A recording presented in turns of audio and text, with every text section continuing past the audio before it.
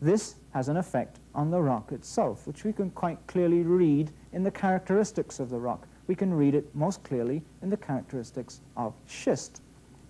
You'll remember that we looked at schist at the beginning of the program as an example of a typical metamorphic rock. These plates of mica that you can see perhaps glistening are new mineral grains in the schist and they have grown in an aligned fashion. They're all parallel to one another. As you can see in this diagram here, the plates all lie flat, and that's because the new mineral grains, the grains of the mica, have grown in the way that was easiest for them to grow. They've grown like that, with the pressure acting down on top of them. It's much easier to grow out in that direction um, at right angles to the pressure than it would be to grow uh, against the pressure. And that characteristic of flat mica plates arranged in layers in schists we call foliation. Foliation coming from the Latin word for leaves. The schists look rather like the leaves of a book. If you take a hammer, you can quite easily split a schist right along the plane of orientation of the mica grains.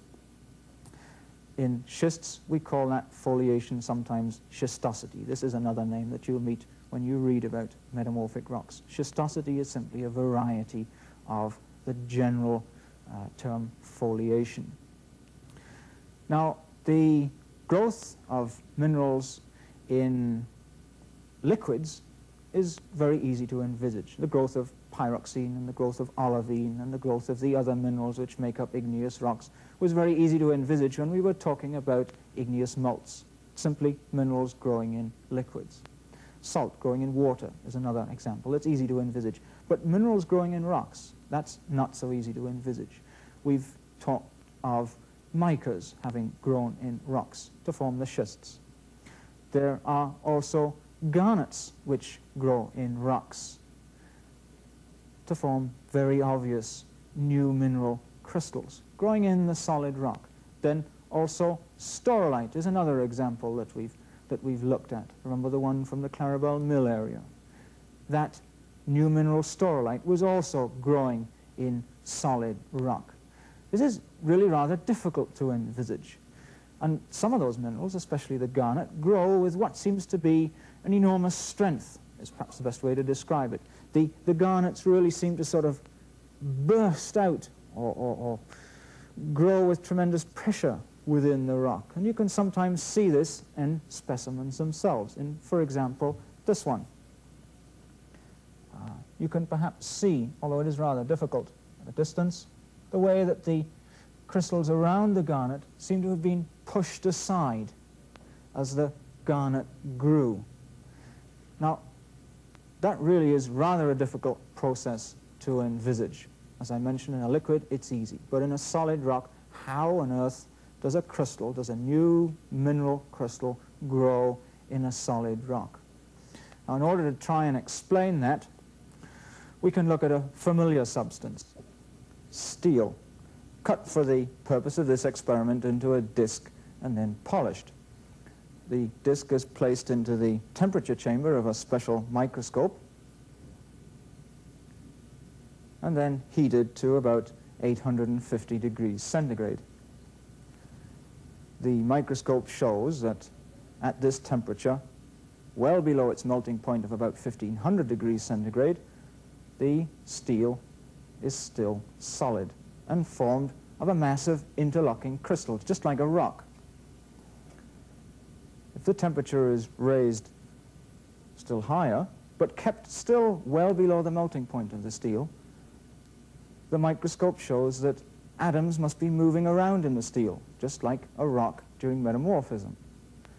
This behavior of steel has to do with the migration of carbon atoms, which are used to harden the steel. The carbon is normally in the form of little islands of iron carbide in the softer steel.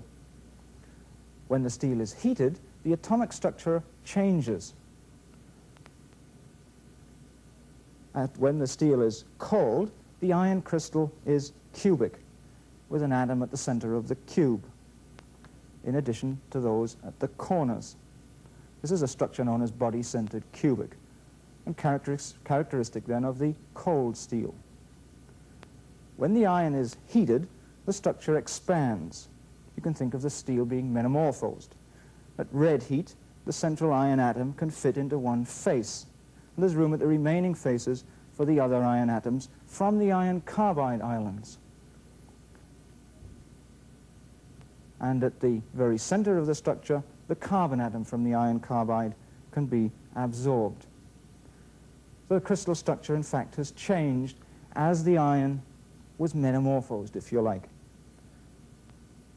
And this makes the steel very much easier to work. It's softer.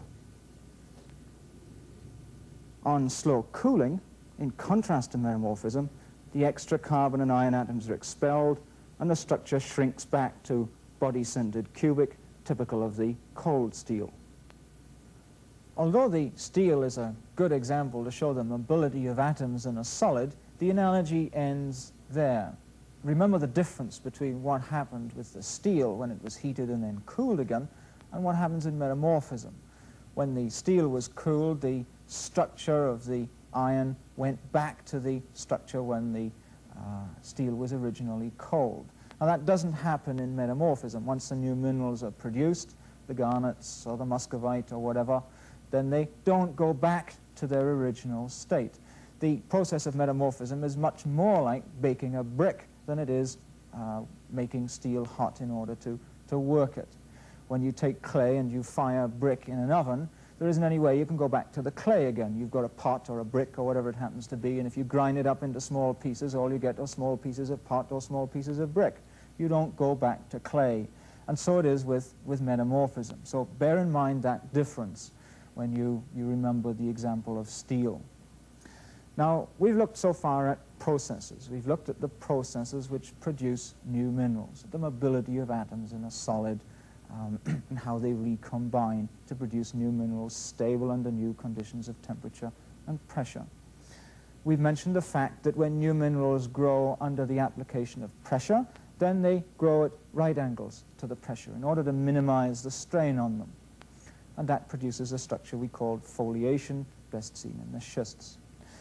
Now, of course, the application of heat and pressure is a progressive process. The temperature doesn't suddenly become 600 degrees, and the pressure doesn't suddenly become the pressure of 100 people on a sugar cube. The pressure slowly increases and the temperature slowly increases. And let's have a look at a series of rocks which illustrate the differences as the, the temperature and the pressure slowly increase. The starting point of our series is shale, the sedimentary rock shale. Application of heat and pressure produces slate from the shale. And further application produces the rock that we call phyllite, already beginning to look quite different from the shale.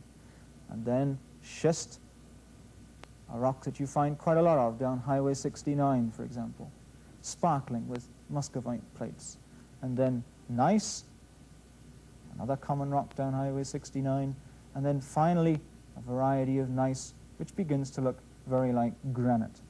So the progressive application of heat and pressure to the sedimentary rock shale eventually produces something that looks like granite. That's a dramatic change, a very dramatic change. How does that occur? Let's have a look at the progressive changes from one rock to the other. Now, in the shale, a sedimentary rock, you'll remember, formed of clay minerals, those clay minerals being small and platy and related in their appearance and properties to the micas, the platy minerals are arranged in rather a random fashion. In fact, there's a little bit of orientation, as you can see, which gives rise to the ability of the shale to break along its bedding planes. But on the whole, the arrangement of those clay minerals is rather random. Now, you can probably imagine what happens if we apply pressure to the shale. A little bit of pressure has already been applied in the transition from the clay to the shale, the, the, the sedimentary or the sediment clay to the shale. That caused a slight reorientation. If we apply more pressure to the shale,